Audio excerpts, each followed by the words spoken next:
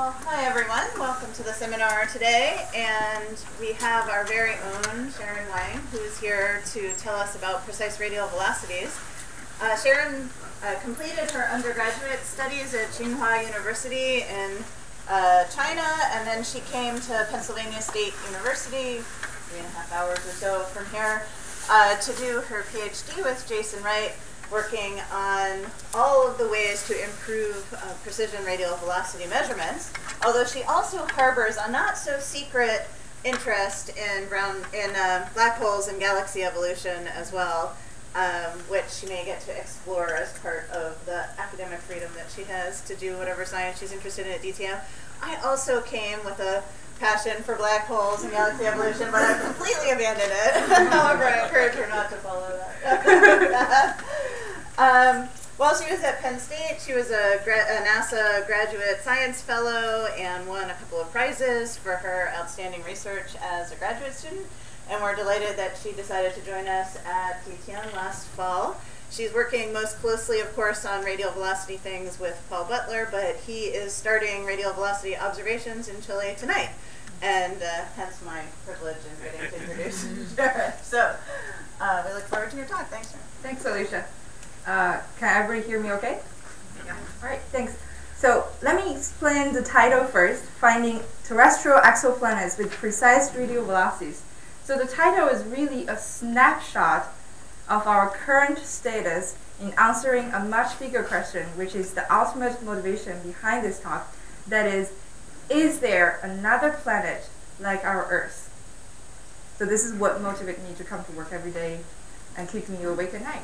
So those of you who, especially the geologists in the audience who study the actual Earth, will understand that this is a very broad, convolved, and a vague question. So let me confine it down to what I mean, which is we want to know whether there is there are planets with Earth's radius and mass and orbiting around sun-like stars near one astronomical unit. That's the distance between the Earth and the Sun. And this is actually a pretty lofty goal. And that's the goal of the one of the big goals of the community in the coming decade. But for now, what we can have is something of a compromise, which is to find exoplanets with radius and mass similar to the Earth. I can leave with, you know, a little bigger Earth siblings instead of Earth twins. And orbiting the host star's habitable zone. That is not too close that the planet will have runaway greenhouse effect, and nor too far away that water will freeze out. And I've uh, eliminated confinement of around sun-like stars uh, to any kind of stars. So, how do we discover exoplanets? So, as of today, the vast majority of exoplanets were discovered by these two methods, the radial velocity method and the transit method. The radial velocity method uses the, the fact that the unseen planet gravitationally pulls its host star, so the star wobbles in the sky and it has a net radial velocity along our line of sight. And this net radial velocity will create a Doppler effect of light. And what we measure is the Doppler shift of the star and that gives us its radial velocity and then reveals existence of planets. And the transit method looks for transiting exoplanets, looks for the periodic dimming of the star as the planets uh, across the star when it happens to move in front of the star, in between us and the star.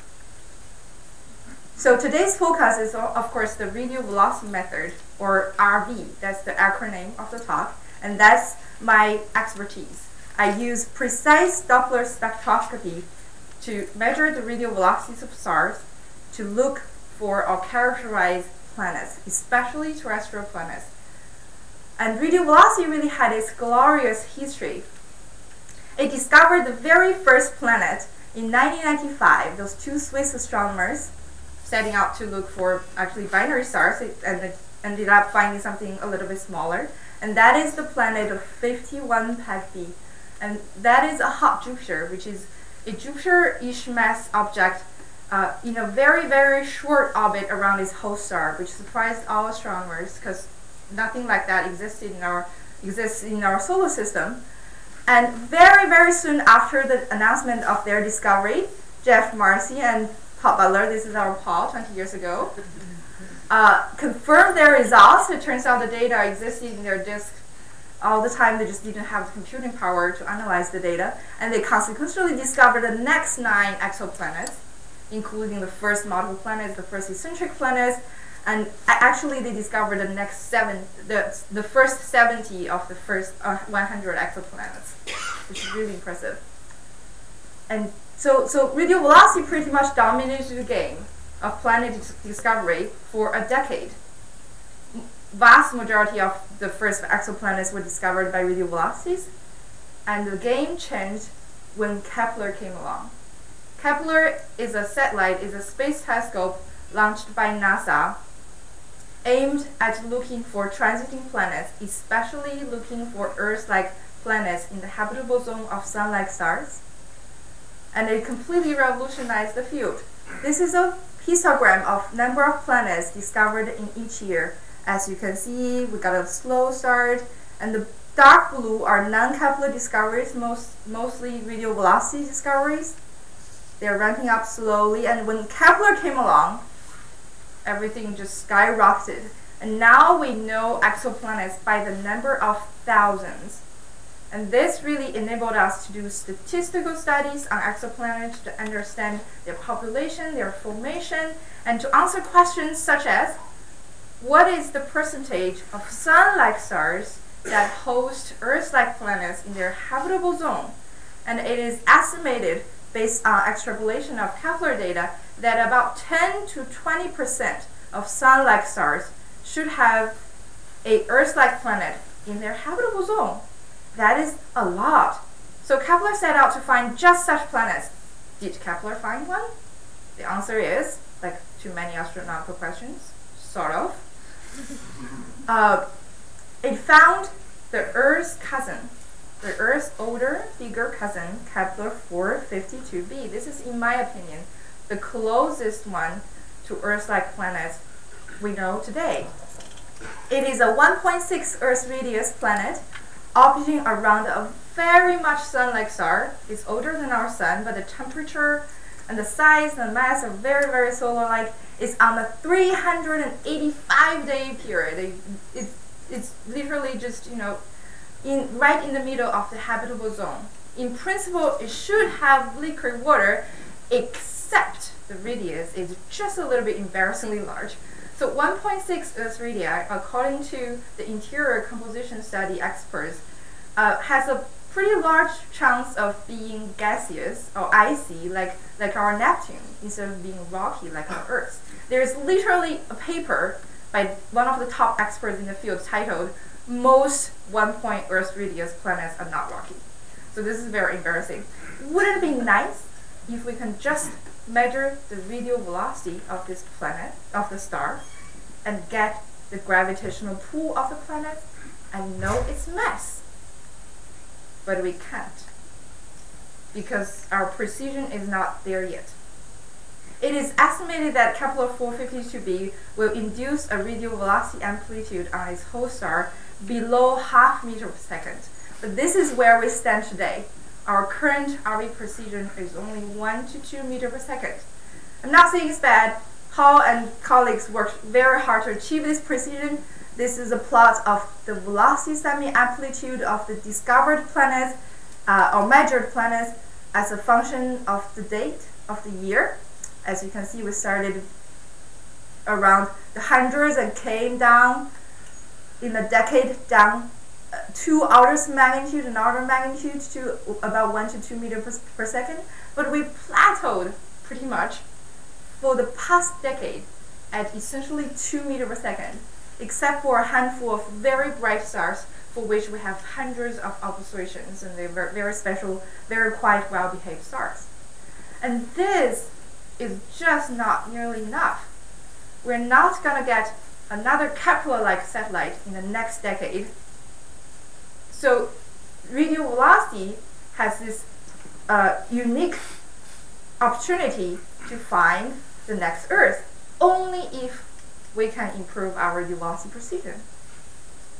It is very important for the quest of Earth-like planets, terrestrial planets in the habitable zone, uh, to improve our radial velocity precision. This is a graph uh, of the stellar temperature, hot stars, cool stars. The sun is over here as a function of orbital period of the planet.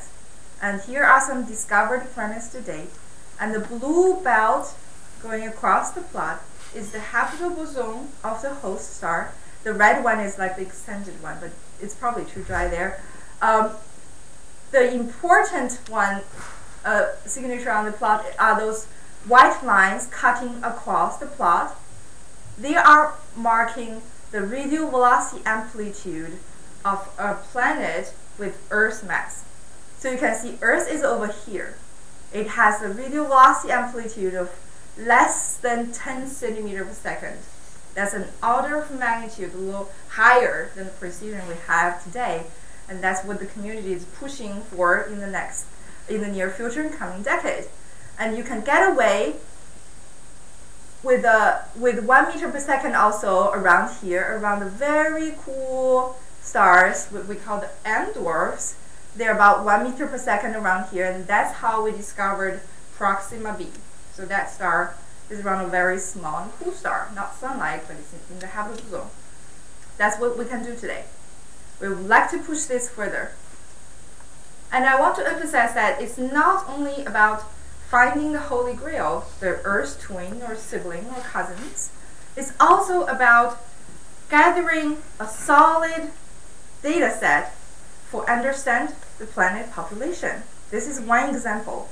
Kepler has shown us that there is there are there is a large population of what we call the super Earths or sub Neptunes. Uh, that is planets with radius between the size of Mercury and Earth and Neptune, for which our solar system does not have an analog for. It is estimated that about half of the stars host at least one such planet. There are tons and tons of them out there, but we don't know whether they're rocky like Earth or icy like Neptune unless we have both their radius and their mass. And this is a plot of planet radius and planet mass of those small planets uh, with well measured mass as, you, uh, as I, I, mentioned, it's very challenging to measure the mass of small planets because they're so tiny. And as you can see, all the small planets the, appear to be rocky, consistent with the blue line, which is the Earth's bulk composition, which is nice and interesting. But if you plot the entire data set available, this is the reality we're dealing with today.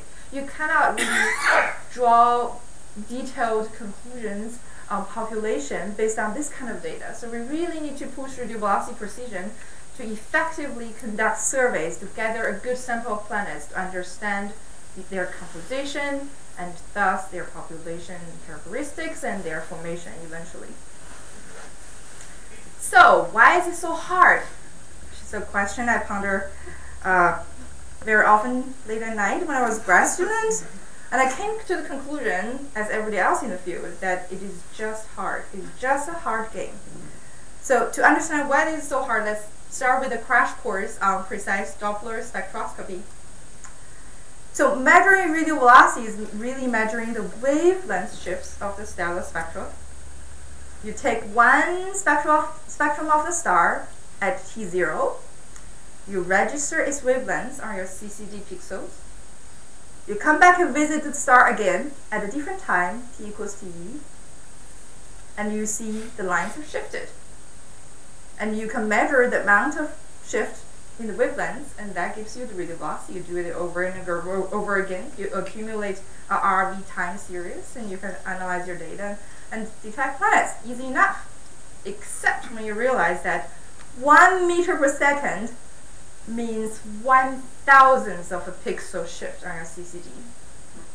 So this is a real spectrum.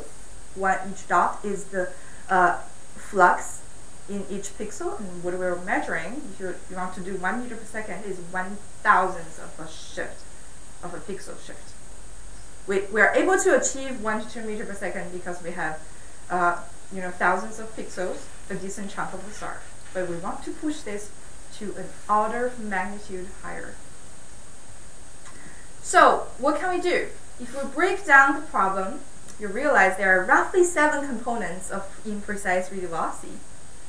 And it's, it's like holding down a big aerobatic tent. You know, you have nuts and bolts and screws to hold the tent down so it doesn't blow off. And you really need to hammer each term down to bring the entire error budget down. So there are roughly seven terms divided into three categories. The first is astrophysics, choice of star. You don't want stars that are too hot, that you don't get many deep spectral lines or fast rotators. Then you're kind of hopeless because there's just not enough Doppler information there. And you want to know how to deal with this thing called stellar jitter. That is the radial velocity induced by star, the star itself. For example, our sun pulses at a period about five minutes. This is what we call the heartbeat of the sun. And this pulsation induces a radial velocity amplitude of larger than a meter per second. So you really want to deal with that. And that's just one example of what the stars can do. And then we have to deal with the hardware, the spectrograph you use to measure the stellar spectrum. And throughout the years, we figure out that we want a stable light input. You don't want the, star to dance around. You, don't you want a, a even smear of the light when you feed it into your instrument. So we, we figure out we want octagonal fibers, double scramblers, and all kind of fancy toys. And we want also really want a stable spectrograph. That means control the temperature and pressure to below 100 parts per million. So now the next, all the next generation spectrographs are going to be in this fancy vacuum-sealed cryogenic uh, environment. And you also want a kick-ass wavelength calibrator. In the end, what you're measuring are the wavelengths of the stars. And Paul has been using iodine cell. I don't know if you've seen those. Uh, they look kind of pinkish with some iodine molecules in the glass shell. And throughout the years, we figured out the best calibration is uh, laser frequency combs. Those are just rock steady, good to below a centimeter per second, probably. And then there's a software uh, aspect. You have to think of ways of mitigating the atmosphere, uh, atmospheric absorption lines. That's the spectral contamination in your measured cell spectrum uh, unless you want to go up to space, which we're also exploring now as an option. Uh, and you also want to do very carefully your data analysis, which is what, what Paul is very good at, and he's basically the only person in the world who can bring the radial velocity precision to a meter per second without themselves. So those are the seven components. And I'm just going to give you one example of these seven problems. I specialize mostly in this department uh, on our battle with the tellurics. This is part of my thesis, and this illustrates sort of the challenges we're facing in this game. So we set out with the motivation to try to improve the radial velocity precision of this one particular instrument. It is the high resolution Echelle spectrometer on the Keck telescope, so Keck HiRes. Keck is the only northern large telescope with 1 to 2 radial velocity precision. And it is the workhorse behind measuring those masses I showed you of those super Earths and sub-Neptunes. Essentially, almost all the work was done by Keck, and is the leading instrument in discovering terrestrial planets. But this is the precision. This is a radial velocity plot of what we call a radial velocity standard star. So the star is quiet, it probably doesn't have planets we can detect. It should be just flat. And the x-axis is roughly time of the year of your observation. And you see this weird trend which correlates with time of year. You're detecting the Earth, essentially, as Earth revolves around the sun. Uh, and it has amplitude of larger than a meter per second. This is very embarrassing, and the RMS is well over 2 meter per second. So this is how well we can do on the supposed to be rock steady star. So what is going on? Well, we firstly suspected the telluric lines. So this is spectrum of the Earth's atmospheric absorption lines, which I'll call tellurics, from optical 500 nanometer or so, to near infrared, 1, 1 micrometer wavelengths, and so on. And Keck operates in this wavelength regime, 500 to 600 nanometer. As you can see, you don't really see any atmospheric absorption. Why do we worry about this? Well, unless you zoom in, this is 500 to 6,200, 500 to 620 nanometer. Telluric lines are everywhere, mostly water lines, of the depths of 1% or even higher, depends on your humidity or your site. And if you're measuring one thousandth of a pixel shift, this could really matter. But there are also other factors which can affect your radio velocity precision. So to isolate the effects of telluric contamination and to see whether that's behind the 1 meter per second systematic error, we run some simulations. So this is a, res the, a result from the simulation. For a world without atmosphere, if you run your code through simulated spectra with your observed signal noise, you should be getting this. It's a little above 1 meter per second, which is mostly limited by the photon noise and how good your code is, which we discovered tons, and I promise you, and I will work hard on it. Uh, and if you inject telluric absorption lines and get the radio velocities and compare the two, this is the difference. So this is the net effects of telluric contamination. As you can see, you don't really see many wiggles. The effects are probably small, on the order of 20 meter per second in terms of amplitude, but it does add noise. It adds an additional scatter to our radio velocity on the order of larger than half meter per second. So this is our poster child standard star. This is just another standard star. They tell basically the same story. So tellurics are really bad if you want to detect Earth, because 20 centimeter per second, half meter per second is not good enough.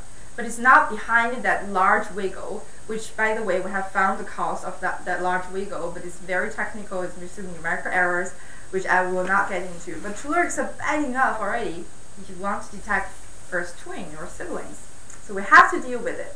Well, luckily, it looks like we can deal, it with, deal with it pretty well, thanks to the shallow lines in the optical region we're talking about. So this is a plot of the radio velocity scatter. So this is the 1.26 photon noise and numerical error floor. If you totally ignoring tellurics, you don't model it, you model it to 0%, you're adding an additional noise of 62 centimeter per second, more than a half meter. If you just model it to about half precision, like half the depth you should be getting, you, you're, you're halfway there. And of course, you can, if you can model your tellurics in your code perfectly to what it looks like in reality, you get rid of it completely. But really, in reality, we just want to control it down to below 10 centimeter per second, or maybe 5, ideally. And 90% of the way there is enough. And modeling those absorption lines to 90% precision is no-brainer. It's very easy. So this is very comforting. But mitigating tellurics is more important for detecting planets around cool stars. Cool stars such as Proxima Centauri and TRAPPIST-1, as you probably heard in the news. Those are the two poster child children these days for uh, terrestrial planets in the habitable zone around cool stars. So why mitigating telluric lines are important for cool stars? Is because cool stars are red. So this is a, a spectral energy distribution as a function of wavelength for different types of stars. The blue and black and orange are sort of the sun-like stars. And the red is a cool star, what we call the M dwarfs. Proxima Cen is something similar. As you can see, the peak is really near one micrometer. And if you recall the spectrum of the telluric lines, you don't have much in the optical where it's best to observe sun-like stars. But if you move to the near infrared, you're entering the deep zone of water absorption lines and oxygen and even methane as you go redder. And those lines are very challenging model. Um, I chaired a session almost two years ago at our the, the meeting of our community, the Extreme Precise Radio Velocity meeting, and we came to the conclusion that this is one of the largest bottlenecks in getting precise radio velocity in the near infrared. And to move forward, one of the crucial things is to get more lab measurements of water lines, of the wavelengths of those lines, the shape of these lines, the depth of these lines, and all of these as a function of temperature and pressure. Who would have thought that finding terrestrial planets around cool stars is closely linked to lab measurements, precise lab measurements of water absorption lines on the Earth. So this is just one snapshot of the many, many challenges we're facing in this game. You never know where it leads you and what, you what needs to be done. And speaking of cool stars, as I mentioned when we were looking at this plot, you don't need the, the 10 centimeter per second precision to detect habitable zone planet around the cool stars. And this we can achieve probably in the near future. And this is really, the very near future in the next couple of years is really going to be the golden age for detecting planets around cool stars. They have a large radio velocity signal and they also have a large transit signal. And this brings us to the next Kepler-ish satellite, TESS, the Transiting Exoplanet Survey Satellite, which is scheduled to be launched early next year. Not delayed again, please. Um, it's, it's unlike Kepler. Kepler looks at stars that are far away. TESS is going to do an all-sky survey targeting primarily stars nearby. And if you do a volume limited survey and just count the stars, 70% of the stars in our solar neighborhood are cool stars. So TESS is gonna provide provide us thousands of planet candidates around nearby stars, and many of them will be in the habitable zone of their host stars, primarily those cool stars. And we at Carnegie really have the right tools for for following up the planet candidates detected by TESS, or just look out uh, to search for these planets on our own. So our tool is the Magellan Telescope in South American Chile, in Chile, where that's where Paul said he's doing an observer run, observing run using the Planet Finder Spectrograph or PFS on Magellan. Um, what's special about PFS and distinguish it from other spectrograph is that it has a very high sampling rate on the CCD, which is very important for M dwarfs, for the cool stars, because their spectra are extra wiggly. So we want you want to get a better grasp of what how the wiggles go. You don't want to undersample them. And this summer, our spectrograph PFS is getting an upgrade. It's gonna have a new CCD which will up the sampling by even more, by almost 70%. And it'll have the, the best sampling among any precision spectrograph in the world. And it's going to get a fiber feed. As I mentioned, the stable input is very important for a spectrograph. And this will help a lot with the precision. We estimate that we should be able to get half meter per second precision or even below with the upgrade depends on the star. So that's great. That's what we can do in the very near future, in this coming year and the next. So, but what are we doing now? There are a lot of things we can do before the PFS upgrade and before TESS launches. One of them is to practice for looking for TESS planets. And that's what we, we're doing now with our PFS plus K2 campaign. So K2 is the acronym for Kepler-2. That's the extended mission of Kepler with limited capabilities. We're following up two targets discovered by K2, two very interesting planets. Um, and this is our amazing team. This is the project led by me and Fei Dai, who is a grad student at MIT. And we got the top help uh, from Andrew Vanderburg and in analyzing the K2 light curves, the transiting signals, and Johanna Teske uh, our own Johanna and also Jennifer Burt from MIT are also involved in this effort. And Paul should be looking at our stars tonight, hopefully. Um, so we're looking at two targets this semester. Uh, those targets are interesting on their own, and we are also doing this test to see how efficient we can do this kind of game, to measure the mass of those planets discovered by transit satellite. Target number one is a Neptune-ish planet around a Sun-like twin star. So you might have seen this photo in one of the Carnegie News. This is a system, uh, this is a different system, but a very similar one to our target number one, HD 133131AB.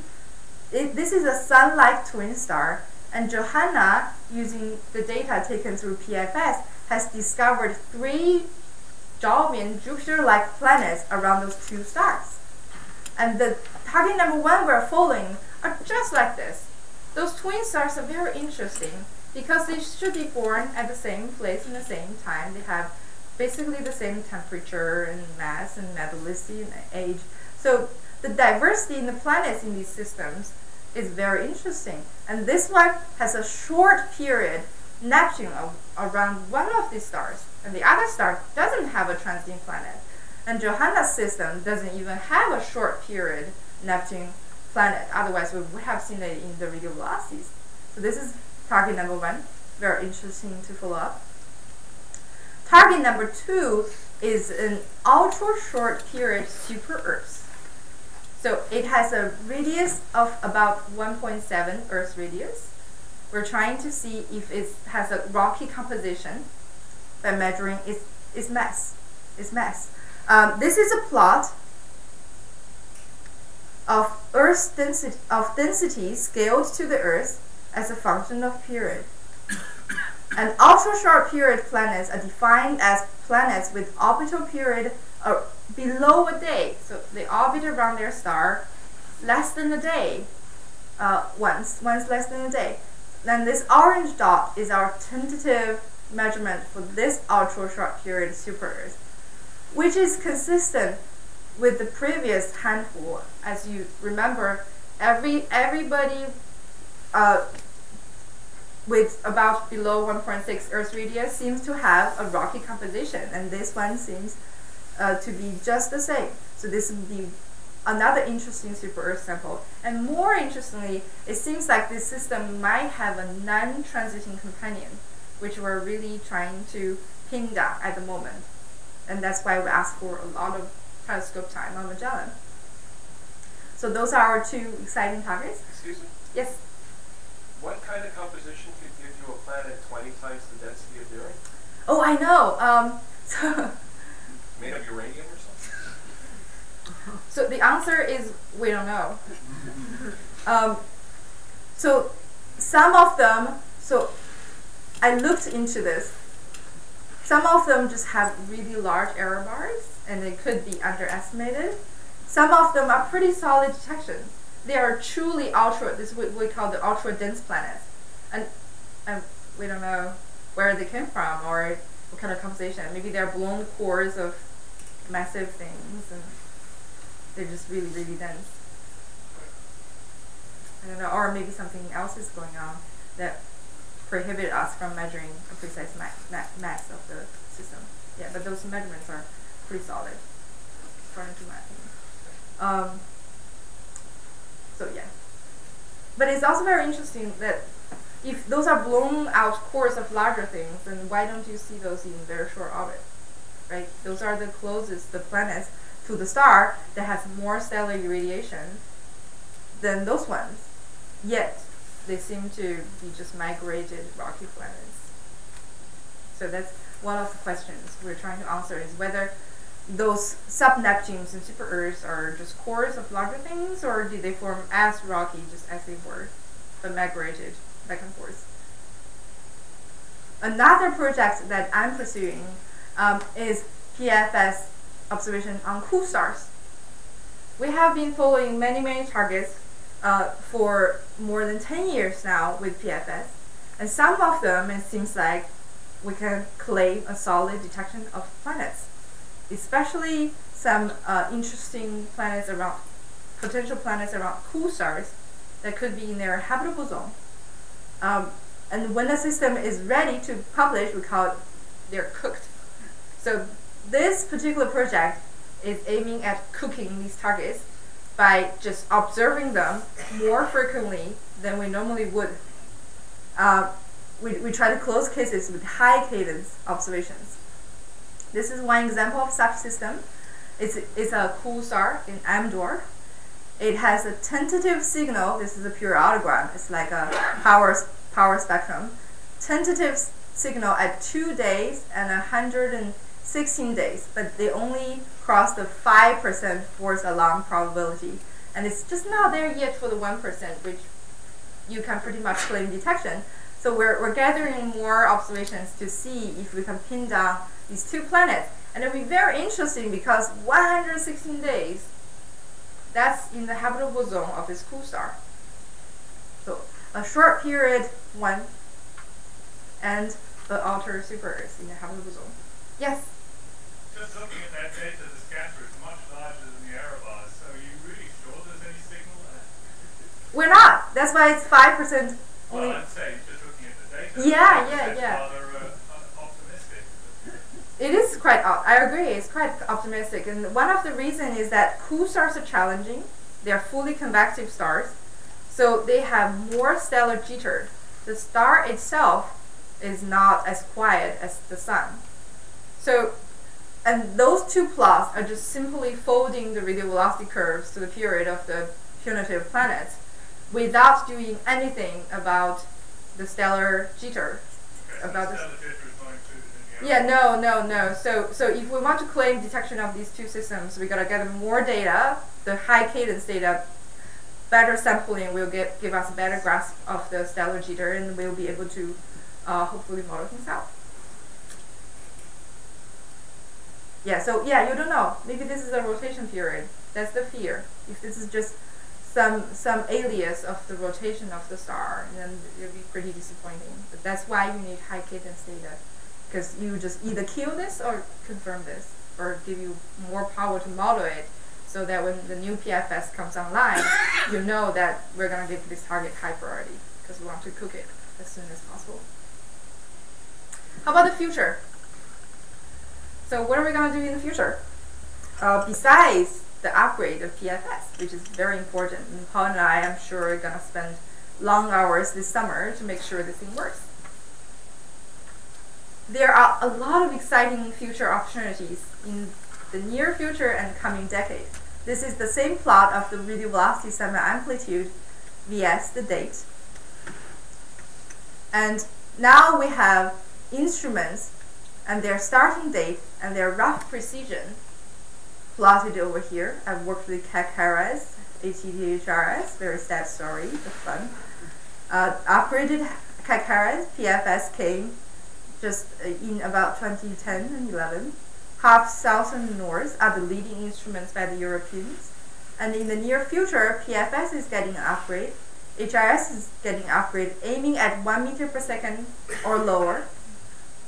And we, in North America, we also have Minerva and NEID. Minerva is now finally, as of last week, up and running. Uh, we are in full commissioning, transitioning into full survey mode very soon.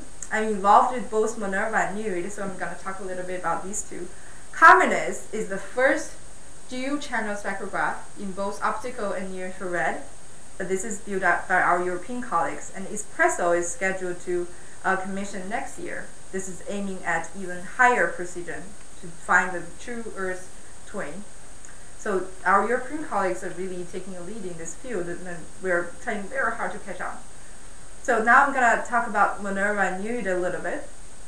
I'm a team member on both projects. Uh, both projects. Minerva is an array of 4.7 meter telescopes.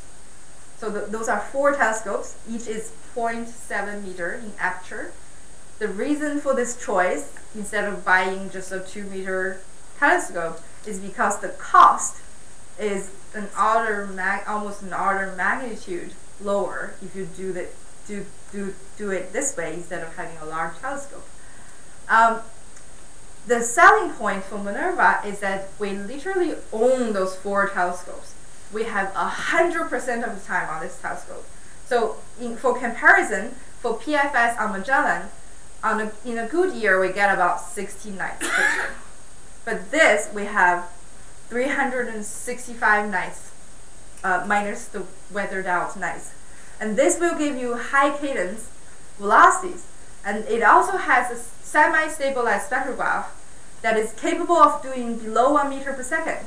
So with such high cadence and such high precision, we will be able to detect Earth-like planets on short orbits, and we're aiming at a handful of very carefully selected cool stars, and it is estimated that we should be able to find about 15 super-Earths in the habitable zone of these stars for three years of MINERVA survey, which began around now. So that's very exciting. I'm, I'm trying to uh, bring the precision to where it should be right now. And I have Paul next to my office, so we got extra help. So I'm pretty confident we'll be able to reach this goal in the very near future, hopefully in a month or so. Uh, and NEID is an even more ambitious uh, instrument. This is an instrument funded by NASA because after the discoveries of Kepler, NASA suddenly realized, wait a second, we don't have, actually have enough power on the ground to characterize those planets Kepler found. So they founded this spectrograph on the 4 meter WIYN telescope uh, in Kitt Peak. And this is the spectrograph aiming at about 20 to 30 centimeter per second. And they're, they're, they're aiming to start commissioning instruments in late 2018. That's very ambitious for the budget and the, the timeline. So this is what NEID will be able to do. By the way, the, the, the name NEID came from the Native American uh, language uh, for the Tuahoe uh, Aboriginals who own the mountain the telescope reside, and that it means to see or to visualize in their language. So this is a tribute uh, to them. And this is what NEID is going to do. This is again the temperature and period of planets, habitable zone. With five nights per year, NEID will be discovered planets along this line and below. With 30 nights, we will be able to detect habitable zone planets around sun-ish stars, cooler than the sun. And with 50 nights per year, which is almost the minimum NEID is to get, we will be able to detect habitable zone planets around even uh, stars even more like uh, similar to the sun, and we'll be able to follow up a lot of the target detected by TESS. So this is the sensitivity curve for TESS, 20, 20 days period or 200 day period. So NEID is going to be great. And uh, the instrument is being built right now, and even before the instrument is being built, we're already start writing the software. We're doing this, everything the right way this time. Instead of creating a kludge software that nobody can use and understand, we're assembling a team of astronomers and professional software writers and software engineers um, to do this the right way. Because nobody has demonstrated that you can do 10 centimeters per second with your code. Which brings us back to the seven components of Precise RV. So I've mentioned those exciting new hardware, which will hammer these down to well below 10 centimeters per second. And I've mentioned tellurics. How about data analysis? So for spectrographs calibrated by those iodine absorption cells, almost all spectrographs in the world use the code that Paul wrote two decades ago. And that code is written for those computers. it is still the best code in the world. Paul has tweaked it here and there in many, many places uh, through the, throughout the years to improve it. And he really brought it down from 3 meter per second to 1 meter per second. But still, this is what it looks like. If you open up a code and you see the documentation session, you can see, you know, Geoff Marcy. Paul, Paul created it, and Geoff Marcy motivated it, and Paul did a bunch of work, and this attempting to modify it to improve it. This is really, really old. Can we do better? The answer is easily yes. And that's part of the reason I'm here. Uh, because Paul is next to my office, I get to take a lot of shortcuts Uh, instead of trial and error and trial and error endlessly, I can just ask Paul, Paul, have you tried this? Does this make sense? And this is what we think the future. We're not going to do the, the new code in IDL, which is, if you've never heard of IDL, that's not your fault at all. We're gonna do it in Python, so our future graduate student can actually get something out of it. We're gonna put it on GitHub, so it's easy to manage, version controlled, and shareable among the entire community. And we're gonna use some fancy Bayesian statistics, so we finally get some error bars that make sense.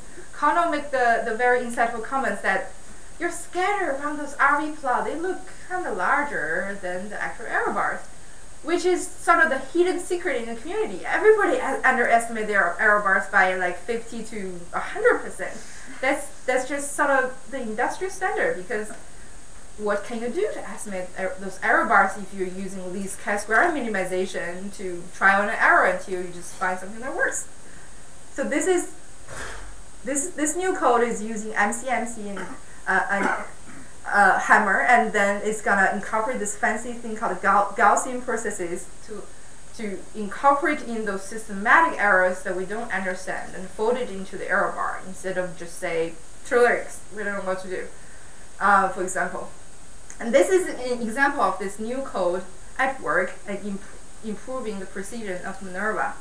So this is this is a slice of the 2D and 1D posterior distributions of three out of the seven parameters we're trying to optimize, and Minerva really has the least number of parameters among the spectrograph I've worked with. Keck has, for example, 15. Um, this is wavelength solution zero point, wavelength solution derivative. This is your radial velocity, and again, wavelength zero point, wavelength derivative. You can see they are nasty. The posterior space is nasty. You have this weird covariance and it's it's segmented and we're like what is going on well you're, you're just lucky that they're orthogonal to your radial velocity and that's why you'll be able to get the right answer roughly and do 1 to 2 meter per second so it turns out that we're just not defining some of the parameters properly and we're creating those weird structures in the posterior space and we tweaked it a little bit and now it's better much better looking. But what is this? This just looks too much of a covariance. It turns out we did not define wavelength zero point at the center of the pixel, and then that creates weird covariance between the two. And we took that, and then now this is the real covariance between parameters, which is what you expect uh, by the definitions of the, those parameters. Now you can really finally get a good posterior distribution get an unbiased measurement of radial velocities, and because you have posterior distribution, you have a good definition of an error bar. You, you, you, you now know better how well you can measure your velocities. So this code is almost done. The only challenge is computational time. So Paul's code is old but fast. It's, it was written for the old computers, so it has to be efficient. And to reduce one stellar spectrum, Paul's code takes about 2 to 3 minutes. Unfortunately, in this one, for 15, 7 to 15 parameters, it take, can take from 10 minutes to hours. So we cannot do science within the lifetime of a grad student. And that is unacceptable. And we're, we're, we're thinking of ways to go around this, including combining Paul's tricks with those MCMC hammer instead of just go full-blown Bayesian. Um, and we'll see how it goes in the next uh, half year or so. And uh, for the last five minutes, um, we, so for the for the past hour, we've talked about upgrade for our tools to hammering down the hardware components, upgrade to deal with tellurics and data analysis, so we can really control these components. But we really haven't talked about this component. What can we do about it? what is the right tools to deal with this? And this is actually the most scary term among all the error budget components. And this plot is what Paul calls a very scary plot. This is uh, different terms. This is radial velocity amplitude, 1 meter, 2 meter, 3 meters. one Earth mass in habitable zone around solar analog has 8 centimeter per second amplitude. Earth around half solar mass M dwarf cool star 27 centimeter per second. The new spectrograph we're building aims at 30 centimeter per second or below, but the stellar jitter term, the radial velocities that are induced by the stars themselves, are typically an order of magnitude larger. There is the gravitational redshift, there is the magnetic cycle, which will cause spots and plages on the surface. If you look at the image of the sun, you see those cool spots. And as the sun rotates, these, these will create nasty signals. There's flares in active dwarfs, which people are also concerned because they might kill the habitability of uh, uh, uh, planets around these stars. They can induce maybe a meter, maybe lower, nobody knows. That's the scary part. Um, I'm sorry, uh, I was talking about active regions when I said spots and plages. Magnetic cycle is something different. It's like the 11-year solar cycle that's similar to active region, but operates on years time scale, which will be pretty bad for detecting something on further away. And stellar oscillations, the solar heartbeat I mentioned, that's a few meter per second, and also something called granulation.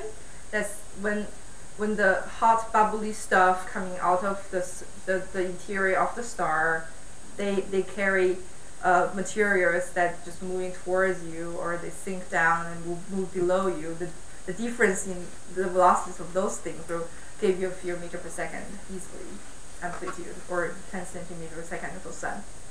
So how are we going to deal with this? This is really, really hard. And this is an example of the best the community can do today.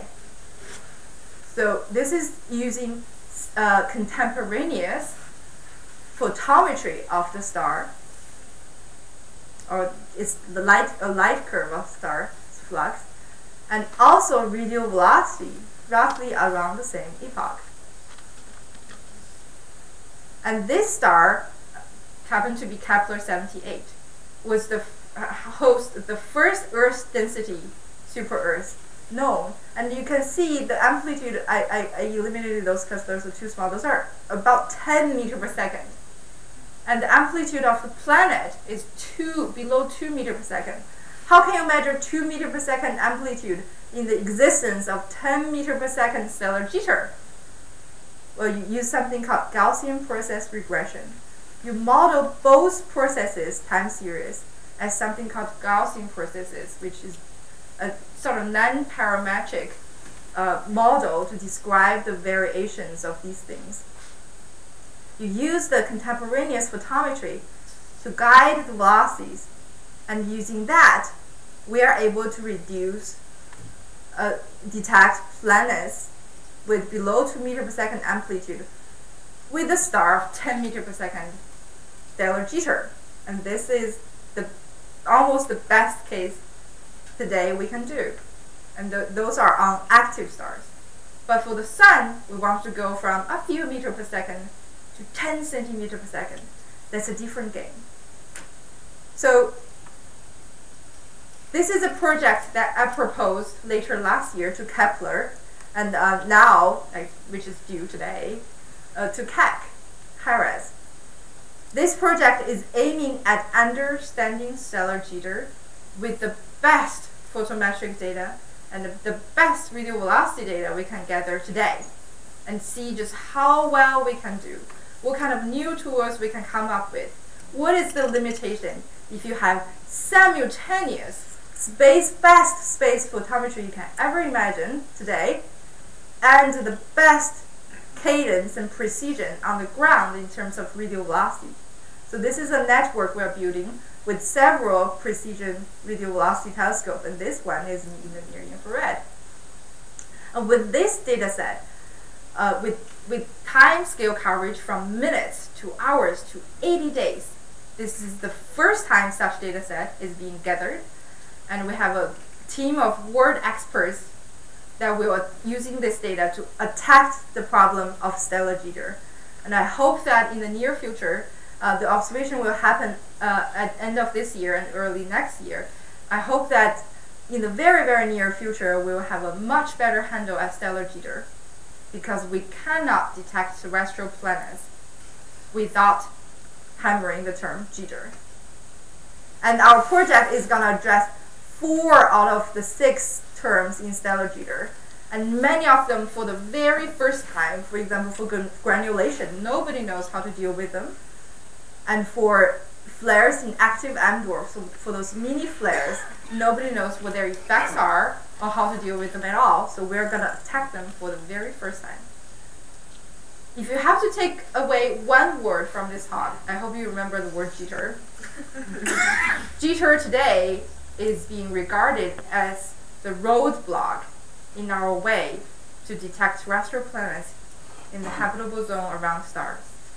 But five years, or maybe 10 years later, when we look back, it'll be just this large opportunity to understand astrophysics and to to overcome this biggest roadblock we've ever seen for decades and to detect the true Earth analog. So nobody panic. We got it covered. I want to end with the picture of Proxima b and Kepler 452 and summary over here and just to say that in the near future of two to three years and in the next decade, there will be more and more exciting discoveries just like this uh, I'm very optimistic that the whole RV community will be able to do it. Thank you.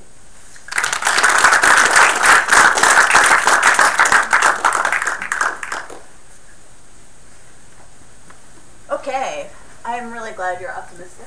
That's always good because you've got a long career of bright uh, observations to make in front of you, so that's good. Are there questions for Sharon? Alan, you want to call on people? Yeah, you can call on people. Alan.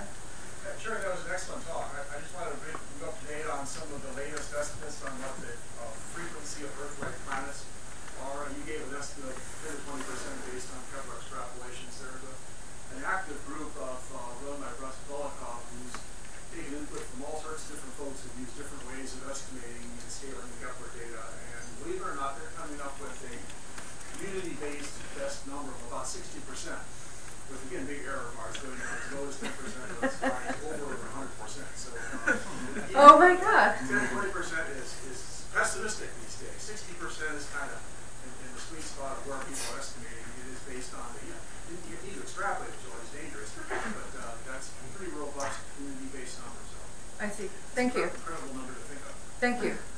Um, that sounds scary. 60% plus minus a big error bar. Thanks.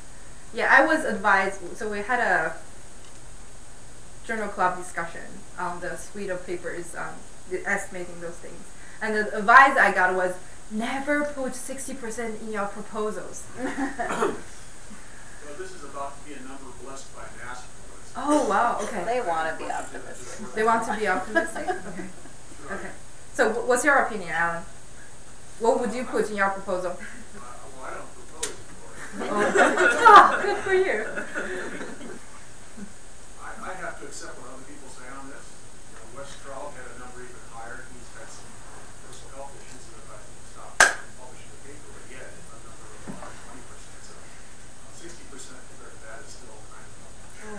wow, 120%. But Russ Belikov is going to be closing out this activity soon, and uh, it's being accepted as far as I know by his uh, colleagues. So uh, it's a reasonably good estimate. That's awesome. I look forward to that. Hey. Um, you're mentioning that people need to do lab measurements to better understand the water lines. Is that are there groups that are doing that? And is that uh, yeah. So, so the the one of the top experts in the world is um, the HITRAN group in Harvard. Uh, I met them with them, and they continue to do these things, but they have many molecules to measure in many conditions and the, the, the question is always, it's better to have funding for them so they have the personnel power and time to do this. So what we have done is, um, so Jonathan Fortney has written a white paper to uh, the funding agencies on the th- things that the fundamental lab measurements that need to be done in order to better understand the planet atmospheres. For example, you can run clouds models and chemical reactions in the atmosphere, and we snuck in a section in there saying that water is very important, not only for understanding planet planet atmosphere, but also for precise velocity measurements. So that's what we're pushing for. Um, we're going to meet again this summer for the third Extreme Radial Velocity Precision workshop. And I, I think we're probably going to write a white paper each thing again. Um, we'll probably reiterate the emphasis on modeling those lines and getting more lab measurements on those lines. So that's that's what's being done. We we astronomers don't really go. So can you say a little bit more about the magic of Gaussian processes? Like what what you need by way of input data to make that decorrelation work? So, um, so traditionally you do a decorrelation. You model the, the photometry, the flux, as a function of, as a, the velocity as a linear function of the flux. And you say it's a almost one-on-one correlation. Uh, but Gaussian process is a couple of hyperparameters characterizing the process and just say this is the characterizing cha- characterize uh, char- characteristic amplitude or period, and then with that you have a probability of having your radial velocity being somewhere. So the, the shaded curves are the probability distribution So but what of the so process. what So it's a stochastic process, and the what. Yeah. precision do you need on your say photometry in order to get a corresponding sub meter per second expectation on the radial velocity? That's the question that everybody wants to know. so Kepler really offers the best precision photometry, right? So to answer questions like this, or, or do we really absolutely need simultaneous photometry? Is another question we're trying to answer. Is there spectroscopic signatures we, we can identify using the photometry so we can get rid of photometry in the future? So that's what we're trying to do. Yeah, yeah. So for, for, for, for tasks like this, obviously you don't need Kepler precision, which is like 100 parts per million. And that's what we're doing now with PFS today. Actually, we have a the ultra short period one is a very active star of 10 meter per second. Also, so we, we have three group I, I, um, three groups of people looking at this star with photometry with about about 0.1 percent precision because it varies around one percent. So that gets you from 10 meter to 2 meter. And nobody knows from 2 meter to 20 centimeter per second what you need that I don't think could be even answered with the data set we're gonna gather with Kepler and Keck. That's that will up to the future. We can probably do a little below a meter per second, I would say, if we try very hard. Okay, well, if there are no further questions, we'll stop and thank Sharon again. She'll be here for another couple of years, I hope, pursuing all these projects. So come talk to her. Oh really? Oh yeah, yeah, yeah. That's, thank you, thank you. That, that took longer than I thought. I thought I would have like 15 minutes to talk about documentary.